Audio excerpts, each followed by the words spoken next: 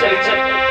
अगर तू घर के अंदर न गई तो मैं अपनी जान दे दूँगी और बड़ी छोटी से बोली